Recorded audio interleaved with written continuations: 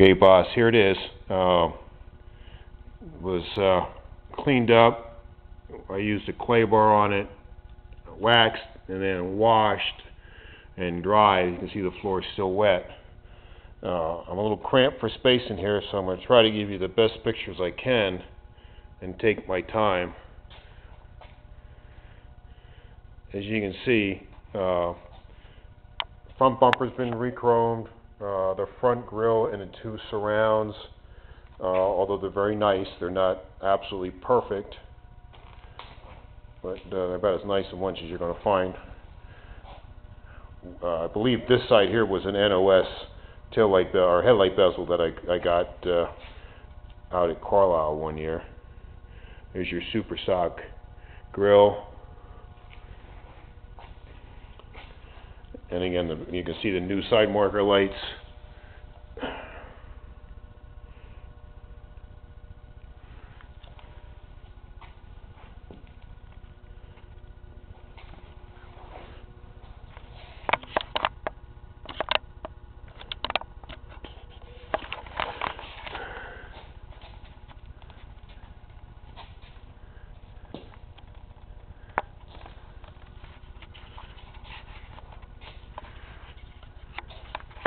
And as you can see, there's new felts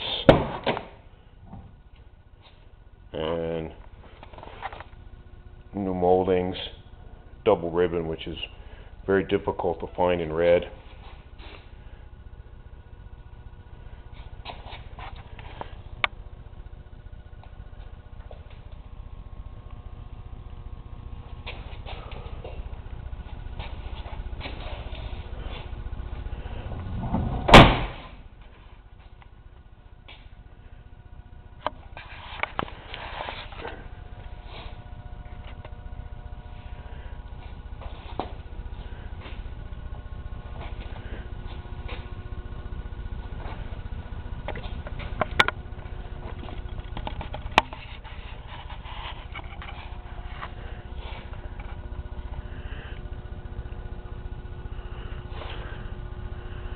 Alright, as you can see, we got a little bit of snow here the other night. The weather's changed. It's gotten pretty quite cold here. It's about 18 degrees outside right now.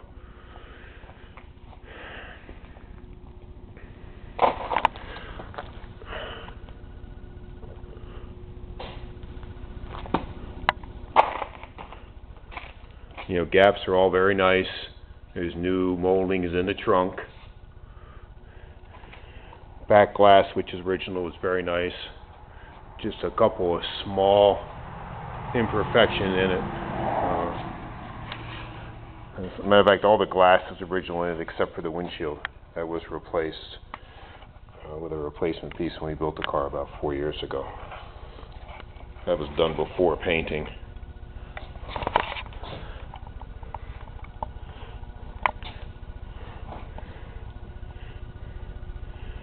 There you can see my son's Challenger. That's a 74. That was a basket case when we brought it in. Uh, he's done quite a bit of work to that. Uh, that's parked now. As you know, he's off to college. So that project is on hold. Unless, of course, I get really bored.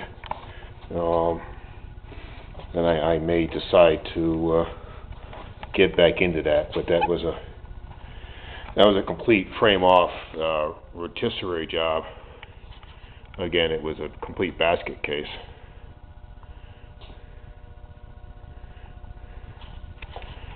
Uh, again, as you can see, all the all the gaps are very nice.